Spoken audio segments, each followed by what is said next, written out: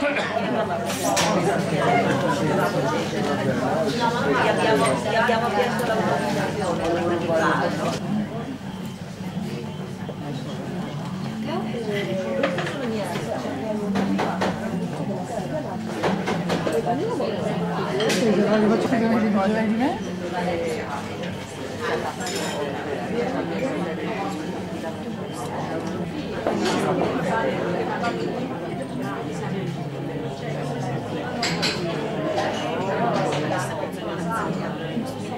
Io sono particolarmente contenta oggi perché abbiamo qua niente meno che da Bologna Francesca Sanzo eh, che presenterà il suo secondo libro dopo un eh, libro di pieno successo, 102 kg sull'anima, eh, questa volta è la volta di A due passi dalla meta. Sono particolarmente contenta perché è una conoscenza personale, eh, quindi anche un affetto e eh, sono particolarmente contenta anche perché a introdurla c'è un'altra amica, Alessandra Racca, eh, con cui eh, amiche tra di loro, amiche tra di noi, cioè, è sembrato proprio di, di Chiudere un eh, cerchio. chiudere un cerchio, esatto. E questo è il libro di un'esperienza magnifica, un'esperienza di vita, un'esperienza di muta e io però lascio parlare loro perché secondo me diranno sicuramente meglio. Grazie. Grazie di essere inizio io a fare gli onori di casa, visto che è, è anche come dire la, la- la chiusura di un cerchio. Eh, vi racconto questa piccola storia che sta dietro al fatto che noi due siamo qua vicine oggi. Eh, io scrivo poesie, quindi apparentemente non c'entriamo nulla. Però qualche tempo fa, qualche anno fa, eh, scrissi il mio primo libro e cercavo qualcuno a Bologna che potesse presentarlo degnamente. Siccome seguivo Francesca che aveva questo, ha questo bellissimo blog Panza all'aria online e soprattutto lei aveva eh, scritto e interpretato anche uno spettacolo che si intitolava La rivincita dei calzini, del calzino spaiato eh, e che in qualche modo utilizzava, come io facevo in quel libro, il calzino come forma di inadeguatezza no? e di eh, come dire, reazione ironica a- alle inadeguatezze di fronte alle quali ci si poneva, eh, l'ho contattata e le ho chiesto di presentare questo libro e così ci siamo conosciute. Eh, sono passati degli anni, sono passati tre libri per entrambe e ci siamo riviste quest'anno di nuovo a Bologna. Eh, eravamo cambiate entrambe, eravamo invecchiate entrambe, però su Francesca non la questione dell'invecchiamento ma la questione del cambiamento era particolarmente visibile perché nel frattempo erano andati via 60 kg, 40, 40 kg scusami dal suo corpo. E, e quindi io mi sono trovata di fronte a una persona chiaramente diversa eh, nell'immagine, ma mi sono trovata di fronte a una persona diversa anche per come si poneva, per come, eh, per come parlava, per, come, insomma, per le cose che raccontava. Eh, c'era sempre Francesca, c'era sempre la sua ironia, c'era sempre eh, come dire, il calzino che faceva, che spuntava da qualche parte, però davvero nel frattempo era successo qualcosa. Eh, questo qualcosa è quello che lei chiama la sua muta. Eh, io amo molto, come dire, scegliere le parole, muta mi sembra eh, una, una parola meravigliosa per descrivere quello che è un processo di dimagrimento, ma non solo, è un cambiamento eh, a 360 gradi. E, e quindi ho dire, accettato con piacere di, di presentare eh, il racconto di, di- di questa muta eh, perché trovo che Francesca lo faccia in una maniera veramente interessante. Lei ha scritto tre libri, un libro eh, parla della narrazione di sé, che è uno dei temi che eh, affronteremo stasera perché, eh, anzi oggi scusate, perché è uno dei temi che eh, serpeggiano in maniera piuttosto importante in questo libro. Ha scritto un secondo libro che si intitola 102 kg sull'anima, che è appunto la narrazione di questa, di questa muta, e oggi siamo qui a presentare questo terzo libro che è A due passi dalla meta, che è eh, una riflessione profonda e insomma non- mm, ha qualcosa di manualistico questo libro, ma non è un manuale che parla di come non riprendervi i chili che vi siete persi, eh, ma è una riflessione sul concetto di cambiamento, sul, eh, su- sul concetto di trasformazione eh, e sugli equilibrismi, che è una parola a cui arriveremo. Ehm, fine dell'introduzione, eh, che era anche per dirvi che a me questo libro ha interessato anche perché non è solo un libro che riguarda il perdere peso, ma è un libro che parla di temi piuttosto universali, perché il cambiamento, la resistenza al cambiamento riguardano tutti quanti noi eh, e anche la narrazione è una cosa che ci riguarda tutti quanti. Eh, però volevo partire con, con, la prima domanda e sentire da Francesca, io farei come dire, un passo indietro, sì. racconterei la tua storia in maniera lineare e ti chiederei appunto di raccontarci un po' che cos'è questa muta, che cos'è stata questa muta e che cos'è il libro che precede, che precede, questo. Così chi non conosce Francesca, insomma, ha un, un prequel di quello che racconteremo poi oggi. Beh, intanto buongiorno a tutti, grazie di essere qui. Eh, sì, io mi chiamo Francesca Sanzo e appunto come diceva Alessandra, che ringrazio tantissimo, eh, ho perso 40 kg. L'ho fatto perché ero obesa, pesavo appunto 102 kg. Eh, tra l'altro, eh, ironia della sorte, nessuno sapeva quanto pesassi prima che io iniziassi il mio percorso di dimagrimento e io ho svelato quanto pesavo già un bel po' dopo, avevo, cioè quando avevo perso già qualche chilo qualche chilo. Questo per dirvi che avevo un rapporto molto conflittuale con, eh, la mia, eh, con il mio peso, con la mia, con il, con la mia fisicità che era un rapporto conflittuale, specchio di un rapporto conflittuale de, di me il, e, nel mio rapporto con, eh, con, il cibo e con il mio corpo. Eh, proprio per questo, qua, eh, per me la, non è stata una dieta, è stata una muta nel senso che io mi sono resa conto che a volte noi eh, abbiamo molta paura di cambiare, abbiamo molta paura e crediamo che il cambiamento in certi momenti della vita non sia possibile, e mi riferisco a qualsiasi eh, cambiamento, non solo a quello del peso, per me quella dieta è stata emblematica, mi è sembrata una, una storia, una, una metafora di tutte le volte che mi sono detta non ce la farò a fare una cosa perché io non sono abbastanza per. Eh, e eh, è stata emblematica perché invece io questa, questa, questo percorso l'ho affrontato in una maniera molto diversa, cioè ho deciso eh, di eh, analizzare, prima ancora di iniziare a fare il mio percorso, di analizzare i motivi che mi avevano portato a diventare obesa, perché io non sono nata obesa, eh, cioè nel senso non ho, non, è, non, è, non ho avuto per sempre problemi. A un certo punto nella mia vita ho scelto diciamo, di rifugiarmi nel cibo, ho avuto dei problemi fin da ragazza nella mia relazione col cibo, ma sicuramente c'è stato un momento in cui eh, c'è stata una sorta di cortocircuito, io lo chiamo l'inceppo, cioè ci sono, noi ci inceppiamo ogni tanto, no?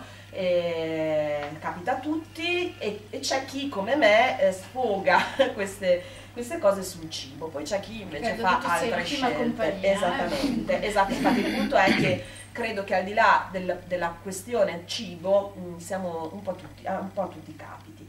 Quindi a un certo punto io mi sono detta ma cos'è successo? Perché? E soprattutto mi sono detta ma il fatto che io sia obesa, cosa che mi mette a disagio, cosa che io vivo come un fallimento, è davvero un fallimento? È davvero qualcosa di cui mi devo vergognare? È davvero qualcosa da cui no, io non uscirò mai più perché sto compiendo 40 anni? Il mio percorso l'ho fatto nel mio quarantesimo anno di vita. Eh, ho cambiato l'approccio, mi sono detta no, aspetta un attimo, ma quante cose io ho imparato attraverso anche questo percorso che mi ha portato a diventare obesa e non parlo di cose positive, parlo di cose che passano attraverso la sofferenza, ma di fatto la sofferenza spesso ci insegna tante cose. Parlo di empatia nei confronti degli altri, di fatto quando tu eh, sei un po' fuori norma rispetto a quelli che sono i canoni, ti rendi conto che esistono, anche se non ce lo vogliamo dire, delle norme, almeno de- delle gabbie mentali che noi abbiamo con cui categorizziamo e etichettiamo gli altri. Ecco, io a quel punto mi sono detta, forse ho sbagliato proprio approccio, forse fino a questo momento non sono riuscita a dimagrire, non ho voluto dimagrire, quindi stare bene per questa, per questa cosa, perché mi sono sempre posta nella posizione di quella che ha che è una fallita, non nella posizione di quella che ha fatto un'esperienza. E lì sono successe delle cose. Io ho ricominciato a guardarmi, ho ricominciato a guardare anche il mio corpo. E quindi sono riuscita a dimagrire perché mi sono accettata profondamente come persona obesa. Cioè, di fatto nel momento in cui ho detto ok, sono obesa, non è un problema, quello è stato il momento in cui sono riuscita a cambiare. E, e, ho imparato delle cose facendolo. Ho scritto tanto mentre dimagrivo e questo mi è stato utilissimo per fare tutto una, un processo di autoanalisi. A un certo punto mi sono resa conto, visto che io avevo anche poi un blog dove raccontavo in progress no, il mio percorso e raccoglievo inaspettatamente eh, un, un sacco di persone che mi raccontavano la loro storia, ma non solo persone che hanno problemi col cibo, persone che davvero mi dicevano grazie perché io mi sento in questo momento ferma e bloccata, mi sento fermo e non riesco a sbloccarmi e sapere che qualcun altro riesce ad avere il coraggio di parlare delle proprie fragilità mi mette in una condizione eh, di, insomma, mi solleva. Ecco, io credo che oggi ci siamo un po' disabituati eh, a parlare delle, delle, nostre paure, delle nostre fragilità, del fatto che siamo esseri umani che sbagliano, che siamo esseri umani che non sono sempre eh, fighi, belli e patinati come spesso vogliamo fare credere anche attraverso i nostri profili no, digitali. E, e, che ci sia molta più eh, comunità, si riesca a fare molta più comunità in questo. Bene, a un certo punto ho detto io devo scrivere, cioè mi sono sentita proprio che volevo scrivere un libro quando si scrive un libro, qualcuno dice l'ho fatto per me, non lo si fa mai solo per sé, lo si fa perché si ha voglia di comunicare. Io sentivo che la mia storia era una storia che non era solo mia, che non poteva appartenere solo a me, che era la storia di un sacco di persone, ma non solo persone con problemi di obesità o sovrappeso, persone, voi tutti, cioè noi tutti che eh, magari persone della mia età che si sentivano di non poter più cambiare io sentivo che era importante scriverlo, non avevo una casa editrice, nessuno mi aveva chiesto di farlo, io l'ho fatto. L'ho fatto e poi a un certo punto la casa editrice Giraldi di Bologna, una piccola casa editrice eh, che io stimo moltissimo, devo dire, sono, mi sento fortunatissima di avere, di avere, un rapporto con Rossella Bianco, che è la mia editrice, eh, ha deciso di credere e investire in me. Altre case editrici più grandi mi avevano detto questo è un libro che non venderà, perché è un libro troppo poco marketing, perché tu non dai consigli per dimagrire, perché io qua non metto niente del mio piano alimentare, eh, cioè no, non è un manuale di dieta. Bene, questo libro ha venduto in sei mesi 10.000 copie, io spero che queste grandi case editrici abbiano saputo questa cosa perché io credo che non abbiamo solo sempre bisogno di marketing, abbiamo anche bisogno di storie vere, di storie che non sono fatte solo per eh, fare i miracoli, perché poi di fatto molte persone invece mi scrivevano e dicevano bene, mi è capitato di essere invitata anche a trasmissioni tv abbastanza popolari, dopo ovviamente mi arrivavano miliardi di mail e una metà di queste mail aveva un tenore che era ti prego dammi la tua dieta, voglio sapere come hai fatto, eh, dimmi qual è il segreto. Non c'è un segreto, il segreto è ognuno fare i conti con se stesso e fare un percorso che è faticoso, perché Così come eh, cioè cambiare costa una grande fatica.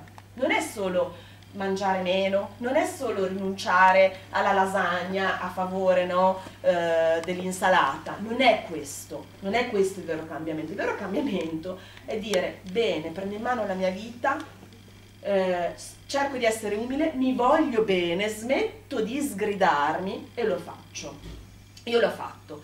Solo che cosa è successo? Che alla fine alla fine io sembravo no, la principessa delle storie, perché in effetti questa è una storia, un, eh, ha, una, ha, una, parabola, la mia storia, che è veramente tutti i clismi del, dello storytelling, c'è l'eroe, c'è il superamento dell'ostacolo c'è il lieto fine. Il problema è che la vita non è solo la narrazione, la vita cioè dalle narrazioni noi dobbiamo prendere il meglio, ma la vita poi va avanti. È una cosa che a volte le favole non ci raccontano e che invece a me preme molto raccontare e che non esiste dietro fine e che comunque quando tu arrivi in un punto non ti devi considerare arrivato perché se ti consideri arrivato sei, passatemi il francesismo, fottuto perché, eh, perché ti fermi e si innesca invece un processo, io la chiamo la sedentarietà totale, cioè non solo fisica, non solo del movimento, ma mentale, mentre nel movimento la vita. Ma non nel movimento uscire a correre, perché molti sanno che io corro e quindi pensano, ah, questa adesso è diventata. No, no, non è quello, è il movimento che si attiva nel momento in cui continui a essere curioso di quello che ti succede. E da lì nasce il mio secondo libro, Infatti, terzo da, da qui cioè, volevo farti questa domanda perché eh, il titolo è bello, insomma, mi è piaciuto prima di, di leggerlo a due passi dalla meta, però appunto sapendo che tu correvi pensavo che in qualche modo fosse molto più direzionato alla, al racconto no, di questa esperienza che pure c'è. Però dopo averlo letto mi rendo conto che così come la parola muta, che in qualche modo forse identifica un Sì. po' questa narrazione, eh, questo a due passi della meta davvero è, è una definizione eh, di qualcosa di più grande che sta sotto quello che viene dopo, no? il periodo della vita. Cioè, che cos'è per te questo a due passi della meta? Che cosa significa? Che cosa, cosa c'è qui dentro? Perché c'è molto, no? Dentro Allora, sì, assolutamente, ho fatto grande... Allora, io avevo un... Quando questo libro lo volevo scrivere, la mia editrice ovviamente, avendo venduto tanto questo, essendo una persona anche, no, di, eh, che, che- che ha un'azienda, mi ha detto, dai, dovresti scrivere un libro sul mantenimento. Io non volevo scrivere un libro eh, manuale sul mantenimento, io volevo scrivere un libro che affrontasse eh, tutto quello che non viene detto dopo i grandi cambiamenti, cioè appunto il fatto che cambiare non significa appunto essere risolti, cioè il fatto che il cambiamento è qualcosa che agisce ogni giorno, il fatto che eh, quello che per molti è un apparente successo in realtà è semplicemente una fase no, della tua vita e che sei sempre, eh, sempre devi metterti in una condizione di scelta, di responsabilità personale. E quindi ho voluto scrivere un libro che parla del fatto che per stare bene non è raggiungere una meta la vera chiave, ma è mantenersi sempre nel movimento, quindi a due passi da quella meta. E questo ha a che fare anche con la corsa. Io durante, eh, nel libro lo racconto, io durante, dopo aver eh, perso tanti chili ho voluto farmi un regalo, io ho iniziato a correre in maniera veramente dilettantesca tuttora, eh, però a un certo punto ho detto io voglio provare a fare una mezza maratona, che sono 21 km di corsa, voi pensate che pesavo 102 kg, eh, mi faceva fatica andare dal divano al frigo, che era la mia attività principale, figurarsi fare una mezza maratona. In eh, due anni io sono arrivata a riuscire a fare questa cosa.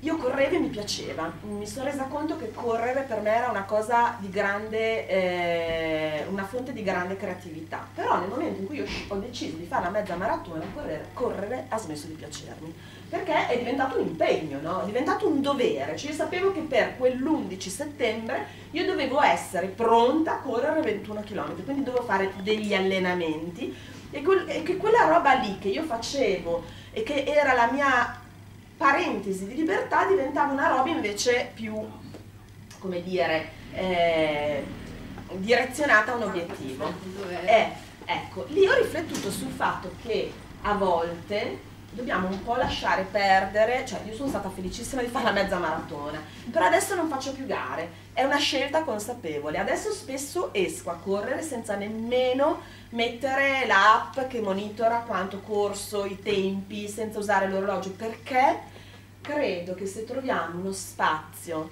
di, eh, Nina Berberova lo chiamava la no man land, uno spazio nostro, uno spazio nostro di creatività, di eh, profondo ascolto di noi stessi, porca vacca, bisogna coltivarlo, mantenerlo, difenderlo e cercare di difenderlo anche da quelli che sono no, mm, le ansie da obiettivo che abbiamo perché questo è un mondo che ci dice che dobbiamo avere sempre degli obiettivi. Ecco, per me eh, rimanere a due passi dalla meta è un esercizio zen per rimanere in quell'area lì di profonda creatività e di vita che per me è rappresentata dal movimento.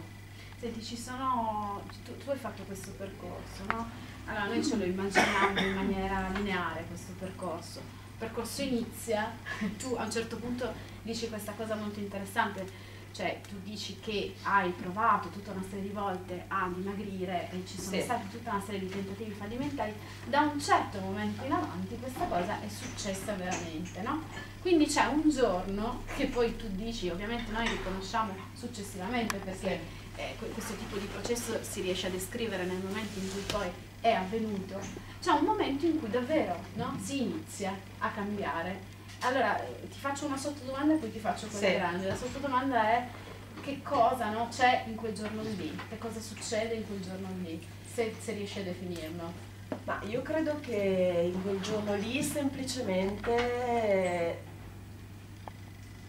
hai la consapevolezza che, che hai preso coraggio, che, che il coraggio ti appartiene. Perché è un'altra cosa che secondo me, io sono una persona profondamente insicura, e un'altra cosa che tante persone profondamente insicure non sanno è di essere, il fatto di essere insicure a volte corrisponde proprio a un grandissimo coraggio. Perché, perché chi è insicuro pensa di non riuscire a fare delle cose e quindi deve mettersi molto in gioco quando dei, anche, anche, deve fare delle piccole cose, no? anche banalmente prendere un treno per una persona profondamente insicura e spaventata può essere, può essere difficile. E quindi deve prendere tanto, cioè, a fare delle piccole, quelle che per gli altri sono cose normali, per le persone che sono spaventate o insicure possono diventare fonte di grande ansia e per farle serve tanto coraggio. Ecco, io credo che il giorno in cui veramente mi sono resa conto che, che stavo andando nella direzione giusta è stato il giorno in cui ho detto sì, sono coraggiosa, lo sto facendo ho davvero, ho un problema, eh, ho paura, è normale e funzionale al fatto che ho un problema, il fatto di avere paura, ma io sto scegliendo di essere coraggiosa e di affrontare questa cosa. E ti vuoi molto bene quando succede. Vuoi bene anche alla tua parte fragile. Vuoi bene alla tua parte fragile, l'accogli e, e, ti rendi conto che poi alla fine puoi vivere quella roba lì e trasformarla poi anche in una bella storia, che è un'altra cosa che mi preme molto, nel senso che a volte le persone mi dicono ah anch'io ho perso un sacco di chili ma mica ci ho scritto un libro, è una cosa che mi è capitata, mi dice hai fatto male perché io l'ho fatto ed è stata una bellissima esperienza, credo non solo per me ma anche per chi l'ho apprezzato, eh, perché a volte noi ci dimentichiamo che la nostra storia è anche appunto qualcosa che va oltre la nostra storia, ma anche le piccole storie e che le condividiamo un po' troppo poco con gli altri. E, ehm, Questo e, è un altro grosso tema no? eh, eh, sì. che tu affronti in questo libro. Sì. Cioè, uno dei grossi, dei grossi, temi è quello della narrazione e dell'autonarrazione, sì. no? E del perché farlo. Io amo molto guardare cosa c'è dentro le parole. Dentro la parola narrazione c'è la parola esatto. azione, no? Quindi eh, non è vero che la narrazione è solo un bla bla, ma la narrazione è un fare, no? eh, sì. è, è, è, un fare qualcosa e ci sono delle narrazioni che sono degli atti positivi e ci sono delle narrazioni che sono degli atti negativi. Allora io mi sono segnata una, un, un, punto, insomma un paio di cose eh, che mi sembravano molto interessanti rispetto a questo. Tu scrivi le seguenti due cose. È incredibile come il modo in cui ci raccontiamo a noi stessi riesca a cambiare anche il modo in cui guardiamo noi stessi. Chissà come sarebbe stata la mia vita se invece di credere di essere una con le ossa grosse, una persona destinata a essere in sovrappeso, mi fosse accorta prima di avere un corpo pieno di possibilità, senza restrizioni, pronto a essere quello che io volevo essere. E poi scrivi. Io a un certo punto della mia esistenza ho scelto di sparire dentro la mia narrazione e non mettere più nulla in discussione. È stato così che ho iniziato non solo a ingrassare, ma anche a rimanere immobile.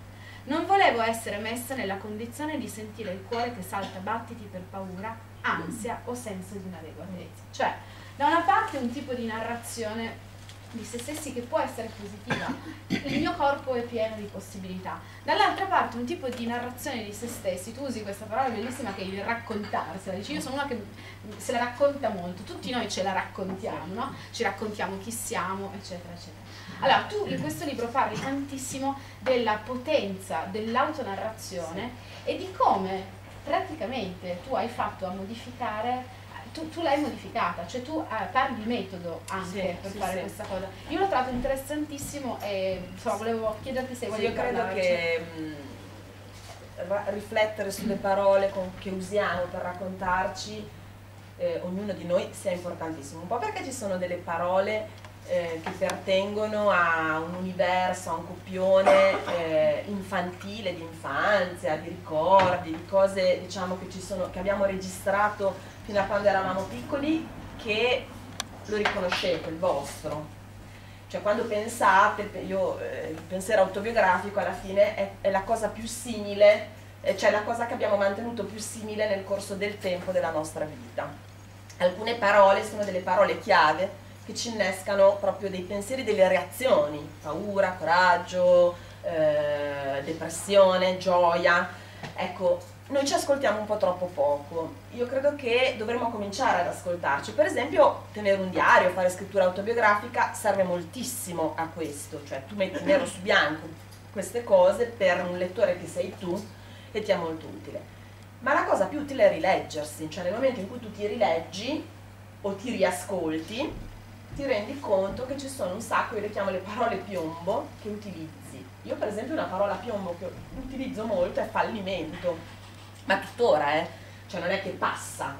Però saperlo ti aiuta a dire no, aspetta, questa parola piombo la posso trasformare invece in una parola opportunità? Cioè che cosa, cioè queste cose che io chiamo fallimenti, che cosa sono? Riflettiamo intorno a queste cose e troviamo un modo diverso di raccontarcele. Ecco, io questo percorso l'ho fatto, lo faccio, invito sempre a farlo alle persone a cui tengo corsi di scrittura autobiografica o di altro genere, perché credo che sia importantissimo, cioè sia importantissimo veramente rendersi conto che le parole possono anche generare, non solamente chiudere in una cornice.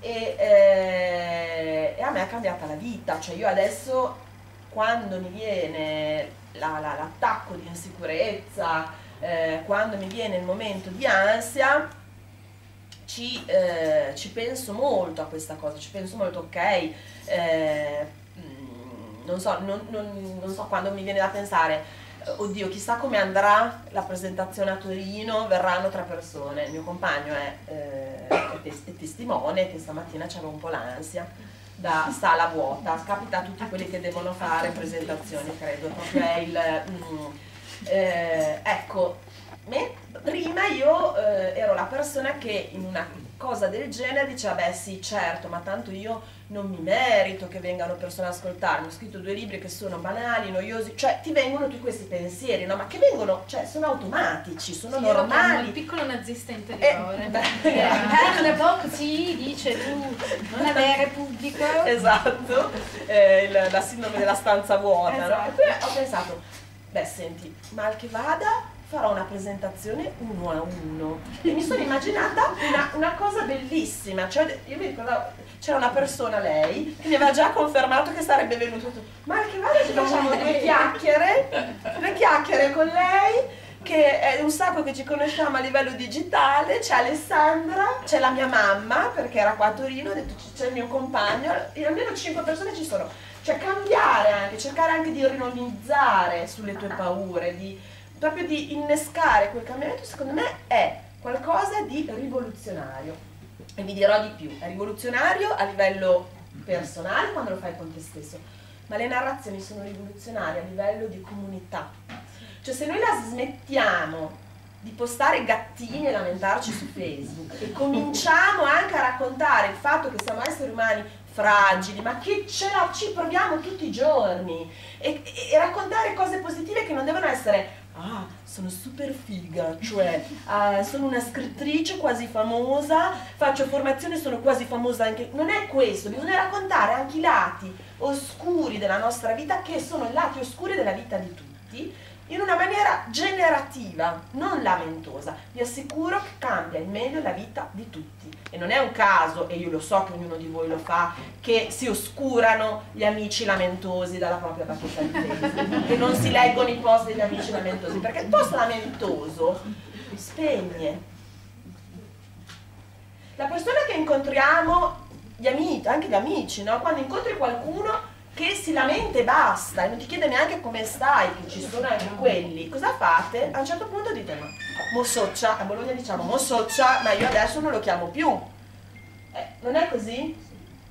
Ecco, la stessa cosa vale per tutte le narrazioni. Oggi siamo immersi in un mondo di narrazioni grazie ai social media, grazie al fatto che possiamo girare video e postarli due minuti dopo, siamo immersi in un mondo di narrazioni. Bene, facciamo in modo che non sia solo rumore di fondo ma che possa diventare la nostra piccolo atto rivoluzionario farlo in un modo eh, preciso Qui appunto io eh, stavo raccontando prima ad Alessandra che ho avuto il piacere di presentare, ho avuto il piacere di presentare il suo ultimo libro a Bologna, eh, di poesie eh, a Bologna eh, due mesi fa, tre mesi fa.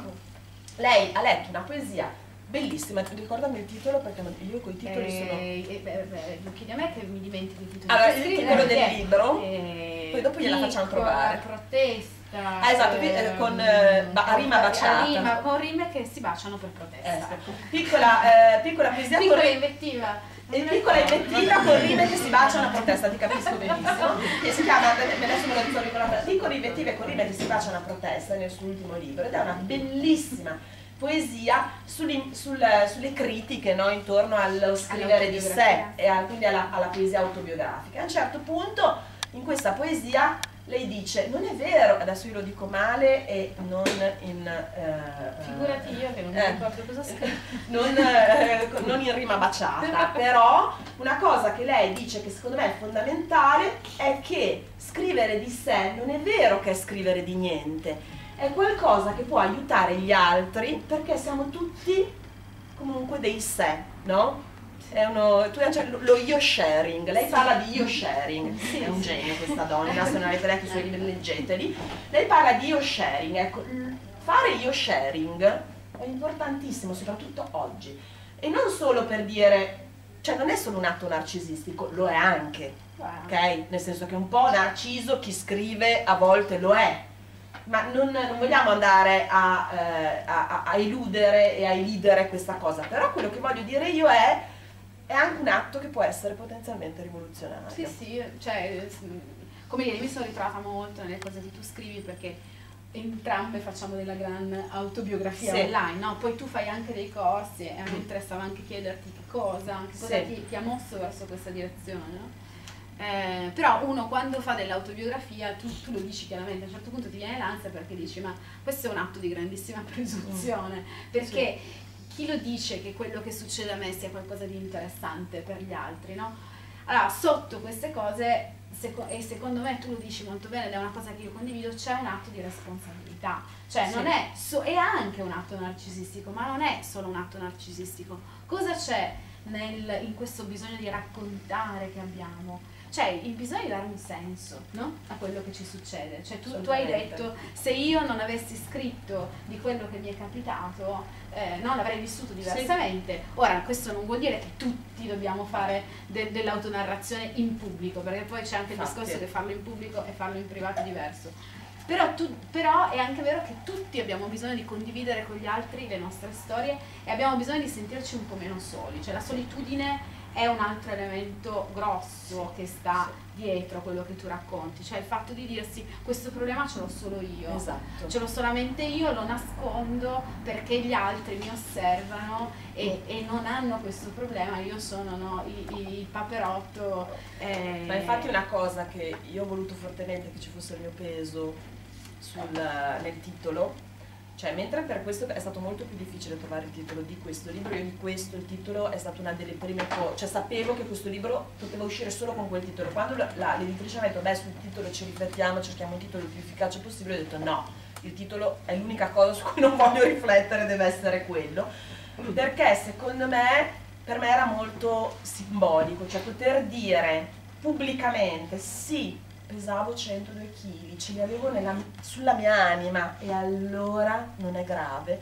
Per me era un atto per me profondamente rivoluzionario, di, di- proprio di, perché ci avevo riflettuto e a volte noi ci ingabbiamo, cioè pensiamo che gli altri ci giudichino per cose di cui poi agli altri in realtà interessa proprio poco. certo, oppure le condividono. Eppure le condividono, ma sapete quanta gente adesso mi scrive, oh lo sai, ho letto il tuo libro, pensa che anch'io peso 102 kg, me lo scrive con una sorta, una forma proprio di empatia, mi dice, sorella, siamo sorella anche numerica- numericamente, e io sono felice quando accade, perché vuol proprio, ma sì, allora adesso poi ne peserai, non è quello che ti ehm, individuerà come persona, che ti identificherà come persona, ecco.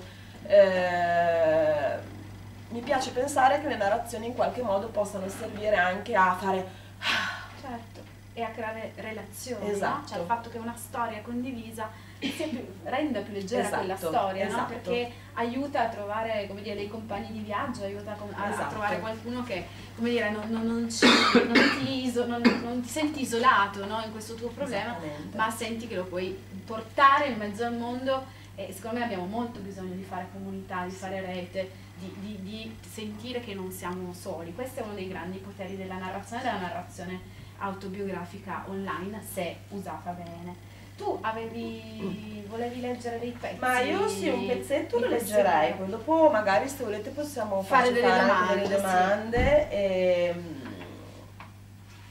adesso leggiamo appunto eh, una riflessione su- sul cambiare le parole, visto che abbiamo parlato molto di questo. Ci vuole un po' di tempo nell'equilibrismo dopo un grande cambiamento ad accorgersi degli effetti straordinari che arrivano cambiando le parole e attivando il proprio corpo. Ci vuole un po' di tempo per rendersi conto che lungo il percorso abbiamo abbandonato pezzi di abitudini che si erano attaccate come sanguisughe e ci portavano via energie ma ormai non potevamo più fare a meno. Di alcune lo sapevamo che non erano buone abitudini, che ci affaticavano la vita e che senza saremmo stati di sicuro meglio. Ma ci sembrava impossibile liberarcene. Non so se per tutti è così, ma a un certo punto della vita, quando ho, gi- ho agito il cambiamento e ho fatto concretamente delle azioni per, per volermi bene, allora è successo che il cambiamento si è infilato in ogni angolo e ci sono state delle cose che poi non mi appartenevano più. Ci sono state anche delle persone con cui poi, io non so perché, ma non ci stavo più bene. Non mi serve più farmi stropicciare e non mi interessa più usare parole svilenti che diventano il modo in cui io mi presento al mondo. Oggi l'unica cosa che mi serve è il presente e intenzioni che si trasformano in obiettivi e obiettivi che mi fanno evolvere come persona. Oggi scrivo parole aperte, parole che si fanno attraversare dal vento. E questo è un po', credo, il senso di questo libro.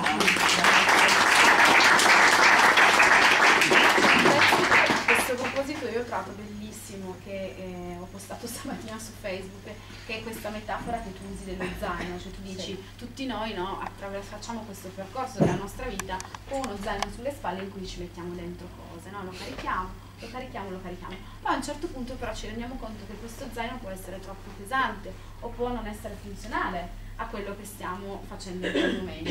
E allora viene il momento di levare, lasciare andare alcune di queste cose. No? Uno, de- uno degli altri grossi temi è il lasciare andare. Quanto è difficile lasciare andare e perché a un certo punto si lascia andare qualcosa? Cioè, cosa scatta? Perché è possibile farlo? Perché ti rendi conto che l'unico modo per poter vivere è il perdono. Perché io credo che nello zaino si mettano tutte le cose che tu non hai perdonato. Io questa metafora dello zaino voglio raccontare questo aneddoto. Mi è arrivata in realtà tantissimi, un po' di anni fa, ero a Milano in stazione con mia figlia, io e lei da sole, era la prima volta che viaggiavamo in treno io e lei da sole. Eravamo andati a trovare la mia migliore amica, che peraltro è di Torino, ma appunto vive a Milano, e io avevo uno zaino dove avevo messo un sacco di roba nell'ansia che mancassero delle cose a mia figlia, che appunto per me. Quindi eravamo io, lei e lo zaino. A un certo punto a me scappava tantissima pipì prima di partire per, il tre, per, non per andare a? Bologna. Quindi ho detto, sì, un classico, ho detto cosa faccio? Vado prima in stazione o quando siamo sul treno mi porto lei dentro il bagno angusto? Io pesavo 102 kg ancora, no? Detto no, andiamo in stazione, che i bagni sono più larghi, tranquilli. Solo che quando siamo arrivati in stazione, anche i bagni della stazione, io ero bella ingombrante. C'era questa bambina che aveva allora tipo tre anni. Io avevo uno zaino enorme, cioè in bagno ci stavano o io la bambina o io lo zaino. Cosa fai? Lasci la bambina di tre anni fuori da sola che magari passa quello che ti ci Cioè, prende la la mattina? nuova della capra. de- O lasci fuori lo zaino con tutti i tuoi averi, c'era anche il computer nello zaino, con tutti i tuoi averi. Cioè, lì mi sono resa conto di quanto, poi ovviamente ho preso la bambina, eh. però, però quello che voglio dire è, eh, ti trovi a volte, lì ho riflettuto sul fatto che mi ero portata un sacco di roba inutile intanto, che potevo lasciare a Bologna perché non c'era servita di fatto a niente, che se mi fossi portato uno zaino più leggero saremmo entrati tutti e tre nel bagno, non avrei avuto quel problema. Quindi questa metafora è nata in questo modo poetico, io che avevo la pipì, però, eh, però devo dire me la sono portata dietro per un sacco di anni, cioè mi ha lavorato molto, perché proprio dopo mi sono detta, cavoli, ma quante cose io mi porto dietro che non mi servono assolutamente a niente? Quante ansie, quante paure. E quando ho incominciato a perdere chili e per me era proprio emblematico del lasciare andare delle cose e del liberarmi anche di una sorta di corazza che io mi ero fatta e che era molto difensiva, perché poi quando hai tanti chili sulle spalle e davanti e dietro e di fianco, cioè ti senti anche ti senti fragilissima insieme, ma nello stesso tempo fortissima, ma chi ti abbatte a te, no? E anche gli altri ti vivono come chi ti abbatte a te. E, ecco, quando ho lasciato andare mi sono resa conto che a me mancava la capacità, mi era mancata sempre la capacità di perdonare io adesso cerco di esercitare molto il perdono, che, ma non sono cattolica, eh, quindi non pensate al perdono in un senso cattolico del termine, cioè il cattolicesimo ci ha a volte un po' defraudato, scusatemi, poi non voglio mancare di rispetto a chi è cattolico, però ha defraudato noi altri che non lo siamo di una serie di termini che invece sono dei termini che dovremmo esercitare, delle azioni che dovremmo esercitare. Il perdono è una di queste. Ecco, io ho cominciato a perdonare me stessa prima di tutto, perché poi alla fine quando hai delle cose che ti fanno arrabbiare, hai dei, eh, delle cose accartocciate nel cuore, nell'anima, spesso non derivano dagli altri, non è colpa degli altri, è colpa, cioè anzi non usiamo neanche la parola colpa, usia, è responsabilità nostra lasciare andare. 40 anni mi sono detto forse ora. Ci sono dei momenti in cui si può fare. Si può fare. E...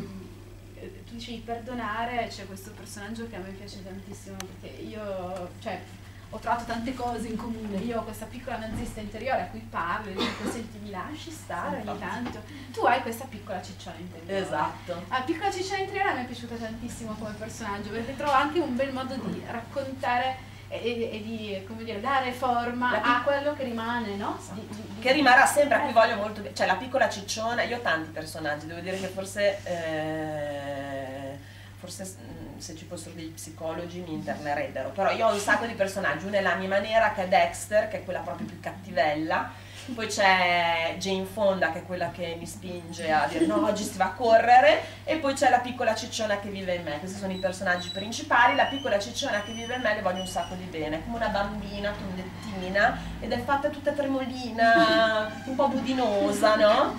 E, ed è la parte migliore che mi ha regalato, cioè è la parte migliore di quando ero grassa di cui non voglio dimenticarmi, mai quindi si lascia andare, però c'è anche qualcosa che sì. va amato per va quello amato. che tu a un certo sì. punto dici ho iniziato a amare il mio corpo quando era ancora grassa, no? questa cosa sì. l'ho trovata commovente, nel senso che sì, sì, io mi sono guardata molto e tuttora devo dire, questo lo dico se in sala c'è qualcuno che è terrorizzato da magari deve perdere un po' più di 10 kg ed è terrorizzato all'idea che gli vengano smagliature sono bellissime le smagliature perché ti ricordano quello che hai fatto e io adesso quando vado in spiaggia sono orgogliosissima delle smagliature che ho sulla pancia e anzi devo ammettere che una delle cose che spero sempre è che qualcuno mi chieda come me le sono fatte, mi dica ma è perché hai partorito? Io dirò sì anche perché ho partorito, ma anche perché ho perso 40 kg. Ferite di guerra. Esatto, sono le mie ferite di guerra, così come quando ho, finito la, quando ho fatto la mezza maratona che eh, qualcuno mi ovviamente c'era chi mi diceva dai devi fare almeno questo tempo, a me non me ne fregava niente del tempo e dicevo sempre che, quando, che a me interessava solo finirla, cioè regalare alla piccola cicciona che era in me questa cosa. E che l'ho fatto, è stato bellissimo. E quando ho finito qualcuno mi ha chiesto che tempo hai fatto e io ho risposto ho fatto 40 kg in un anno e sono passato da non muovermi a fare una mezza maratona. Questo è stato il mio risultato. Come risultato si vede.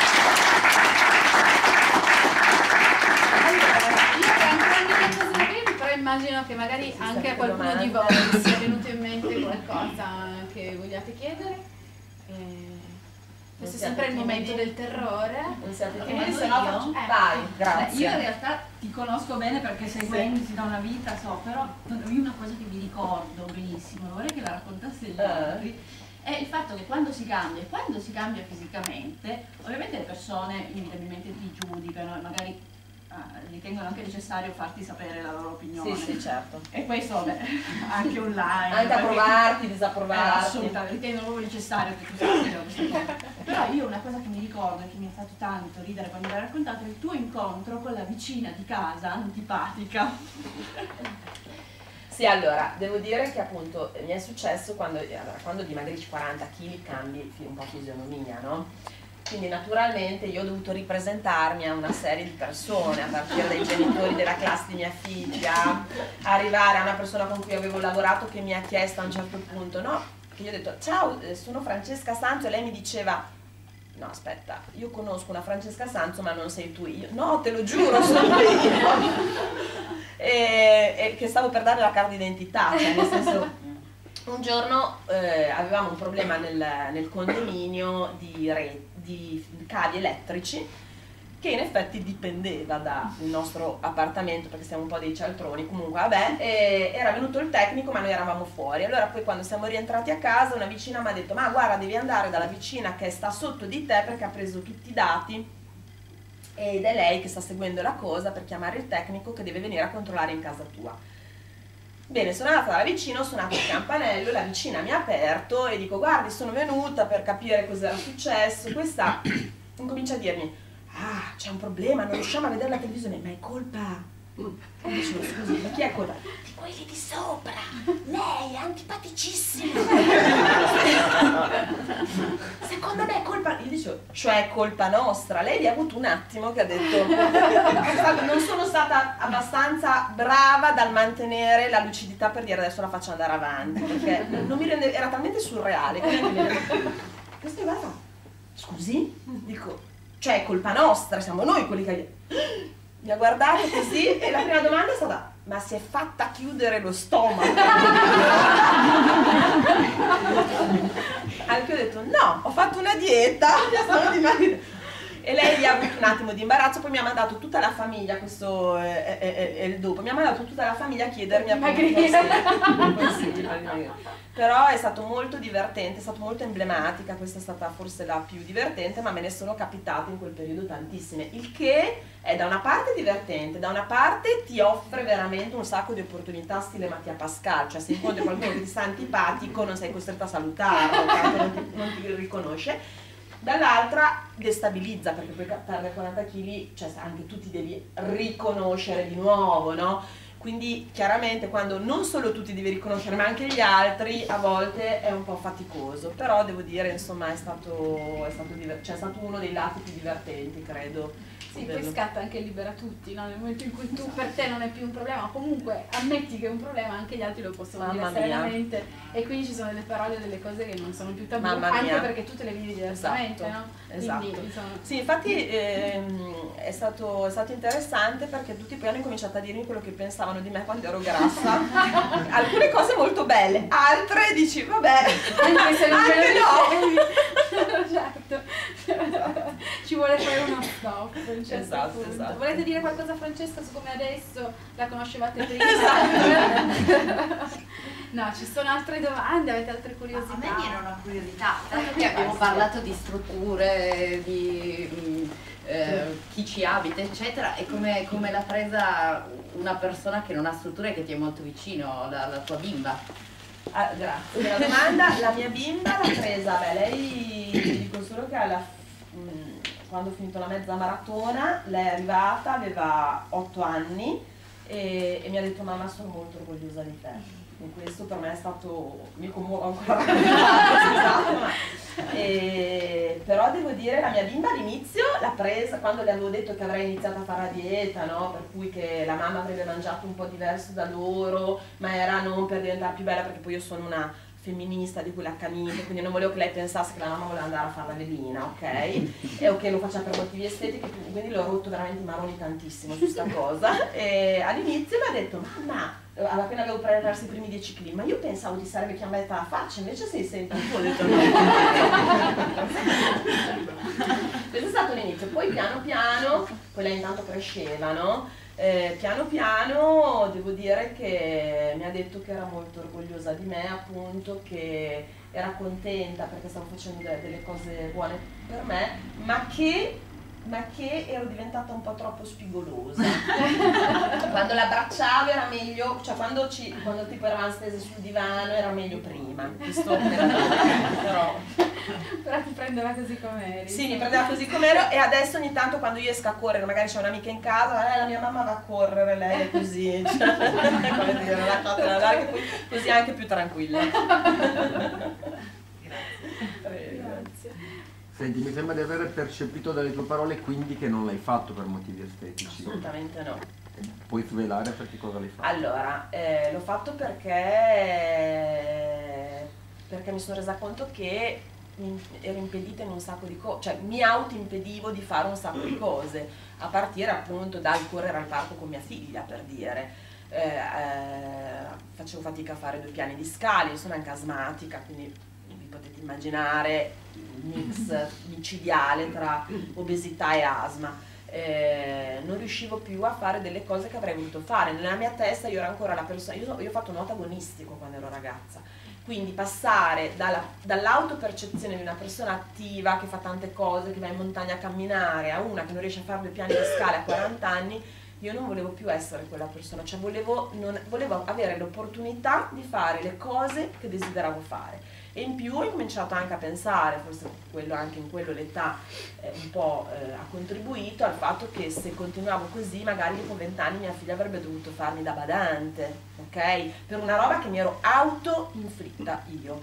e non, non mi sembrava giusto. Per cui sostanzialmente l'ho fatto per questi motivi. Io non è che non mi sentissi bella prima, è chiaro, non è che il mio corpo mi piacesse, eh, a volte ci si dice, però sicuramente non, non- non pensavo di me di essere una brutta donna, una donna non guardabile, tra virgolette, o che io non mi apprezzassi, ma volevo, volevo assolutamente stare bene. E lo stare bene secondo me ti rende anche più bello a te stesso, poi agli altri chi se ne frega, tanto ci sarà quello che dice, quello e quella che dice sei bella, sei brutta, e quindi Certo. quello è un problema che già non mi pongo più da un po' di anni, però eh, per quanto riguarda me, devo dire che il sentirmi bella ha molto a che fare con il sentirmi bene, quindi sostanzialmente per me era importante. Quando l'ho fatto per motivi estetici anni prima, poi li ho ripresi tutti con gli interessi, i chili, perché cosa succedeva? Che lo facevo, arrivavo alla mia meta, al mio obiettivo, e poi il giorno dopo la mia vita ricominciava come prima,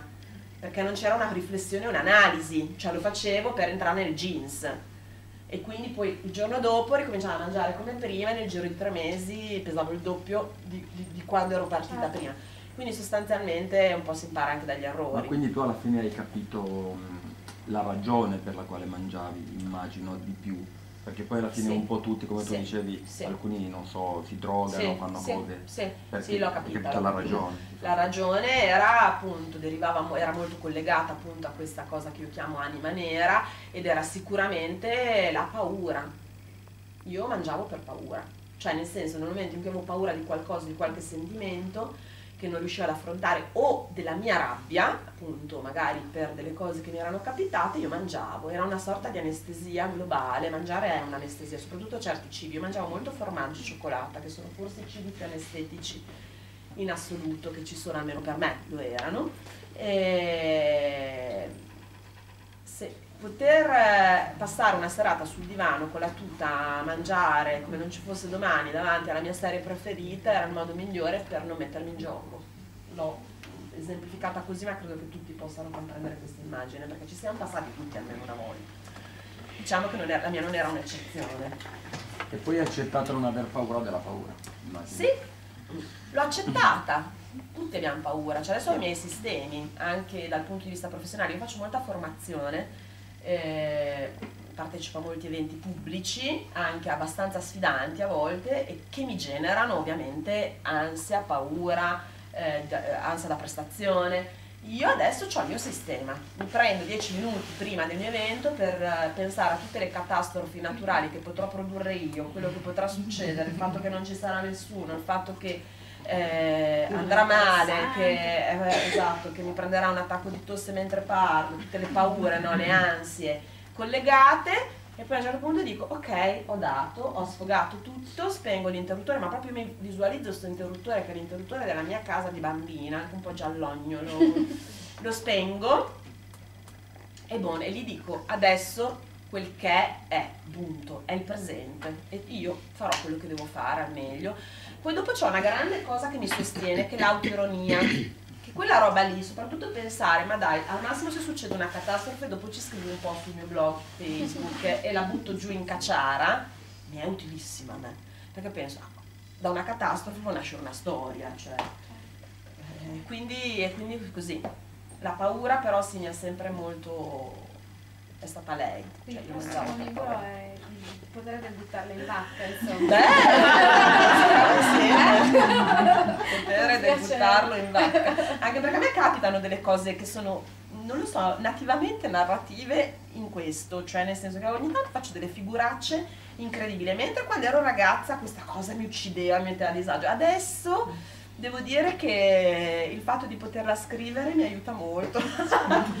Così. Scusa, se impatta, come impatta a livello di dinamiche di coppia eh, l'essere, diciamo normale, non voglio usare il termine grasso, magro, ma diciamo Ok. normale, diventare sovrappeso e poi ritornare normale, più o meno normale rispetto a prima, adesso io non entro nel merito, a livello di dinamiche di coppia. Cioè lui in tutto Posso questo... parlare liberamente? C'è mio, mar- c'è il mio non marito, posso parlare liberamente? Ok. Eh, beh, allora, io devo dire che io e il mio compagno un po' un rapporto disfunzionale col cibo l'abbiamo condiviso, siamo stati dei soci, così come adesso nell'uscire da siamo soci virtuosi, lo siamo stati, quindi nel nostro caso comunque eh, entrambi, entrambi sul cibo abbiamo buttato molte cose, quindi siamo stati veramente so- più che soci complici. Come impatta?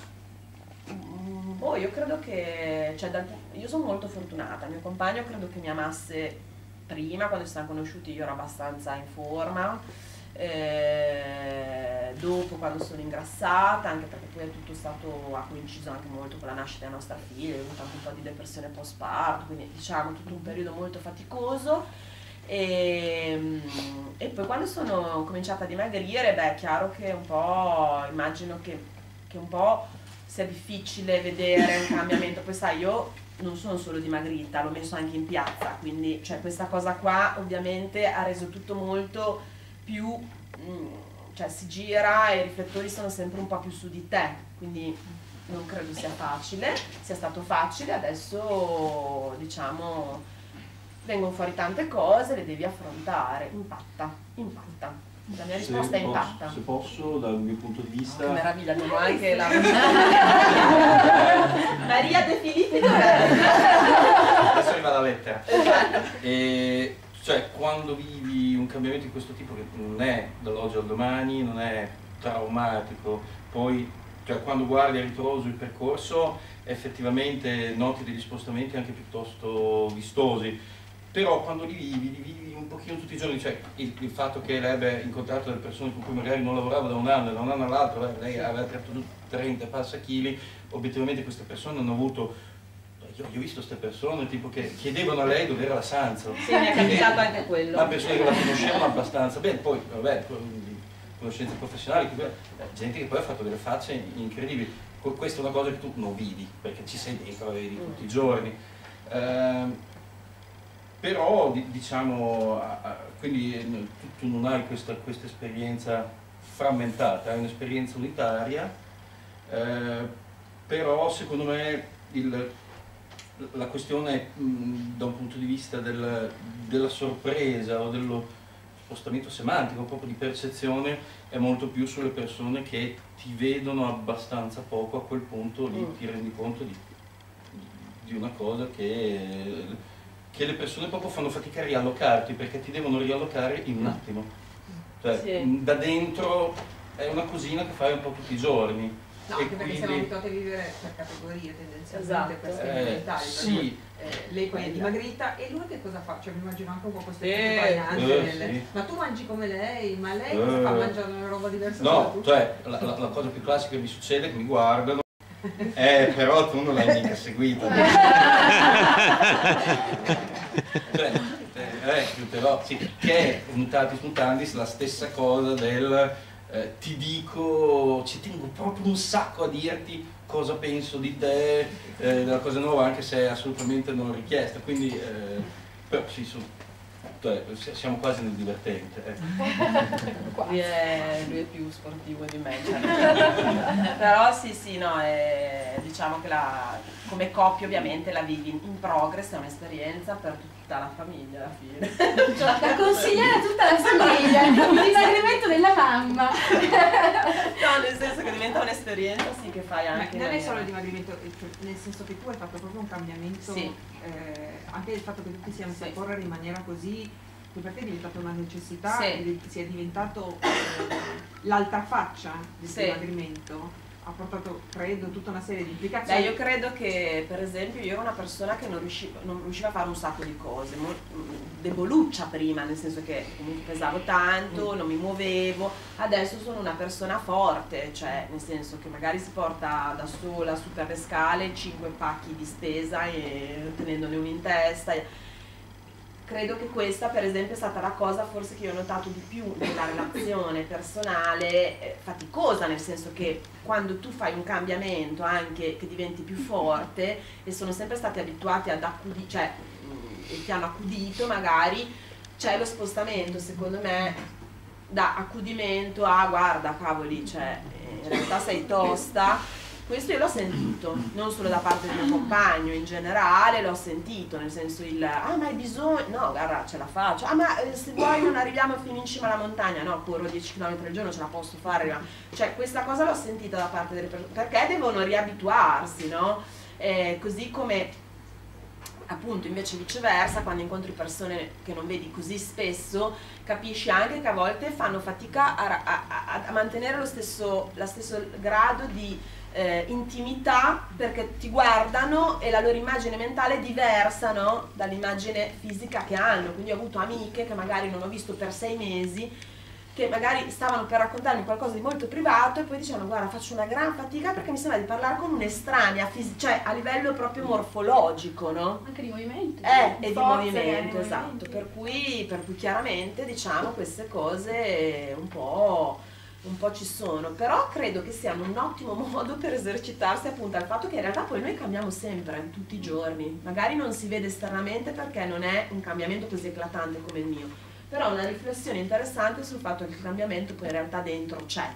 Ed è bello poterlo accogliere, cioè anche questa anche la vanif- cioè il rendere un po' vano il fatto di dover rimanere sempre uguali a se stessi per te e per gli altri morte. esatto brava infatti è una cosa bravissima quello che dico sempre è che l'unico momento in cui non cambia è quando sei orizzontale eh per sì. cui eh sì assolutamente e con questo e con pensiero questo io, volevo allora dirvi che assolutamente non abbiamo parlato di un sacco di cose Sì. perché così ci sono un sacco di altre cose quindi sarà necessario per voi acquistare questo libro perché vi abbiamo occultato la parte migliore e volevo ovviamente invitarvi adesso mangiamo Sì, perché certo. mi sembra Eh il coronamento di tutti i discorsi che abbiamo fatto Ne chiediamo un altro di certo. esatto mi piaceva chiudere con delle parole di Francesca che come dire escono un po' dalla sua storia secondo me si, si riflettono sulla storia di tutti quanti noi con una parola chiave che è equilibrismo ho capito che alcune cose sono accadute perché io le ho fatte accadere e che i piccoli cambiamenti che determinano quella parte di destino che posso scrivere stanno sospesi fra i tanti equili- equilibrismi dei giorni che sembrano tutti uguali. Occorre imparare a nutrirli nella quotidianità per non perderne il reale significato e potere. E quindi l'augurio è che tutti noi, anche grazie a questo pranzo che stiamo per fare, siamo in grado di nutrire i nostri